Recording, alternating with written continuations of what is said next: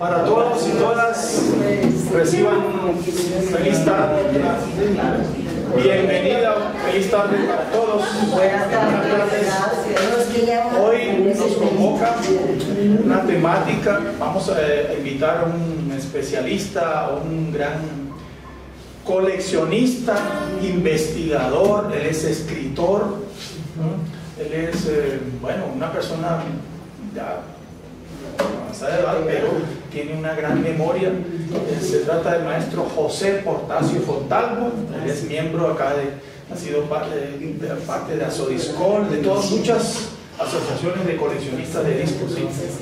Entonces, bueno, él publicó recientemente pues, un artículo, no sé, un escrito acerca de la vida y obra de un gran, tal vez, si no fue el mejor, uno de los más grandes cantantes que hemos tenido en todos los tiempos en Colombia, el maestro Nelson Pinedo.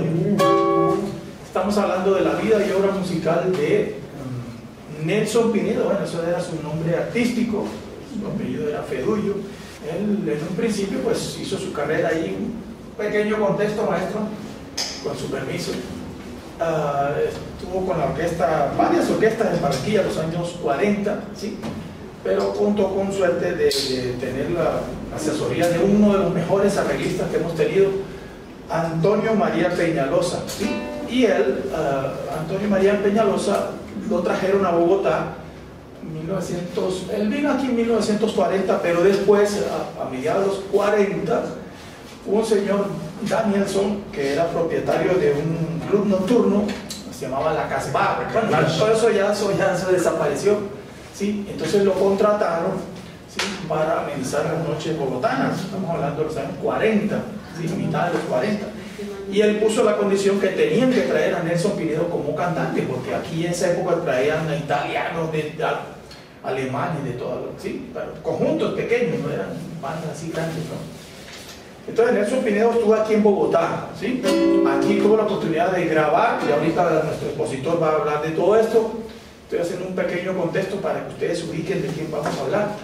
Y bueno, él tuvo la suerte que mmm, rápidamente, bueno, estuvo en el Caribe y para resumir, les digo que él hizo, no hizo parte, sino grabó con la agrupación musical más popular de, de aquella época que fue la Sonora Matancera.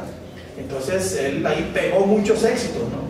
Estuvo en Cuba, pasó una situación difícil, eh, grabó Pasando mucho. cable, pasando cable. Cable, cable. Cable en música quiere decir que pasando, Cabo. o sea, dificultad, que no tenía trabajo y bueno, como todos, las buenas, las maduras, pero le llegó el turno y grabó, casi que reemplazó a Daniel Santos, que era como bienvenido grande, las figuras de la Sonora.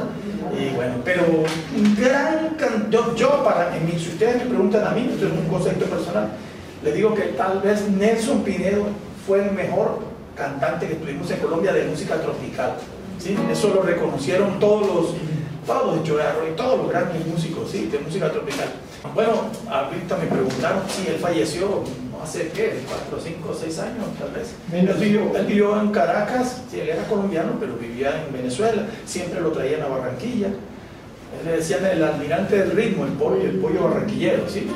En todo caso, bueno, ya para darle paso a nuestro expositor y agradeciéndole a ustedes toda esta bienvenida aquí, esta estadía, es que vamos a hablar de, bueno, a hacer remembranza y a recordar la vida y obra de Nelson Pinedo. Este señor grabó sobre todo a grandes compositores de Colombia, y bueno, y del Caribe, sobre todo de José Barros, de, bueno, de, eh, Álvaro Dalmar, bueno, ustedes, bueno, allá que hablan de Álvaro Dalmar, ¿se acuerdan de un bambuco que hubo?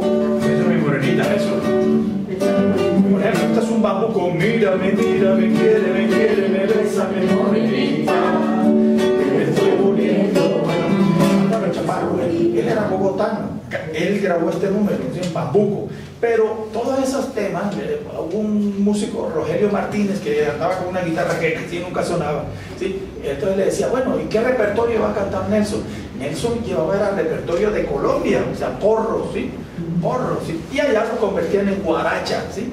La guaracha es un poco distinta, más alegre que el son, ¿sí? Ustedes se saben el son de la broma.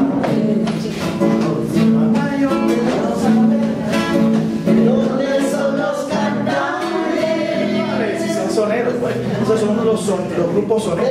La Sonora Matancera ya tenía las dos trompetas, piano, timbalito, tumbadora, etc. Entonces ellos se, se convirtieron fue en guaracheros. O sea, algo así como un son más alegre, más rápido. ¿sí? Entonces Nelson Pinedo lo que grabó, la mayoría de sus como series, grabaron fue guarachas. ¿sí? Y, y ellos convirtieron este, el, el bambuco, mírame, mírame, quiere, allá lo convirtieron en Mírame, mírame,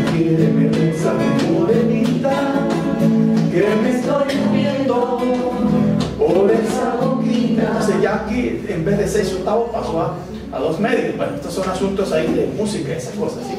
En fin, este señor grabó muchos temas, el vaquero, bueno, muchos números que ya nuestro expositor nos va a hablar de eso. Entonces, eh, ya creo que ya estamos contextualizados. Sí, ¿De sí. quién vamos a hablar? De Nelson Pinedo, ¿ok? Sí, sí. uno de los mejores eh, cantantes que hemos tenido en Colombia. Colombiano. Él fue, sí, colombiano, de Barranquilla. Él era de Rebolo, ¿no? Ah, de Rebolo. Sí, sí, tiene razón, tiene razón, sí. Rebolo, son barrios populares de Barranquilla. De Barranquilla. Y él creo que lo sepultaron aquí en Barranquilla, sí.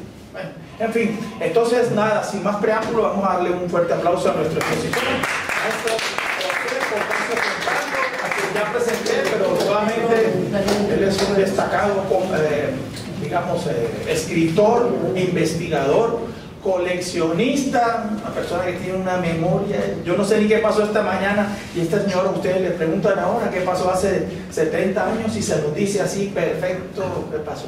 Eso, eso es un don, sí. No todo el mundo tiene memoria así. 70 años fundaron la, la televisión no sé qué pasó esta mañana. Este señor sabe qué pasó hace 80 años, yo no lo sé. Entonces, bueno, eso es un privilegio de tener contacto. Sí, es uno de los pasatiempos de José. Sí, José, buenas tiene una colección. Yo que he ido a su casa y tengo que agradecerle a ellos. Digo eternamente agradecido porque ellos me han facilitado mucho material. Eh, esos videos que ustedes ven en mi canal, ellos, los hermanos Portacio, me han facilitado eso. Y bueno, nada, pues entonces vamos a hablar de Nelson Pinedo. Para comenzar, registro dos preocupaciones positivas. Primero, la inmensa mayoría de asistentes de esta tarde en esta organización post Asobiscol es de mujeres. Qué bueno, La mayoría. bueno. Segundo, siempre que tengo una, un evento de estos, acostumbro llevar, llevar, llevar bien armado CDs, cassette, videos, MP3, etcétera, etcétera. Pero en esta ocasión, pues, los, avances de la tecnología me limitan. Comienzo entonces por Napoleón Pinedo Fedullo. Napoleón Pinedo Fedullo nace un 10 de, de febrero de 1928 y nace en el barrio Rebolo. El barrio Rebolo es en Barranquilla un barrio popular. ¿no? Allí han salido grandes personajes. Da la coincidencia que el barrio Rebolo hacia el norte se convierte en el barrio San Roque. Y ese, ese barrio San Roque eh, viví- vivía, vivía nuestra familia. ¿no? Y más o menos a dos, tres, cuatro manzanas vivía el maestro Miguel Granados Arjona. Y unas dos cuadras posteriores vivía Nelson Na- Napoleón Pinedo Fedullo. Pero no sabíamos quién, era el uno y quién el otro. Yo, por ejemplo, a pesar de que vivía prácticamente a pocas cuadras de Miguel Granados, nunca supe esto, lo supe después. Y, y Napoleón Pinedo, menos. Bien, en todo caso, pues este barrio Rebolo eh, es, una, un- es, es un- un- una localidad muy mencionada entre los barrios de Barranquilla. Se puede mencionar el Bravo, se puede mencionar Recreo, se puede mencionar el, Silencio, pero el barrio Rebolo es único. Entonces, a nuestro personaje le cupo el mérito de haber nacido en Rebolo.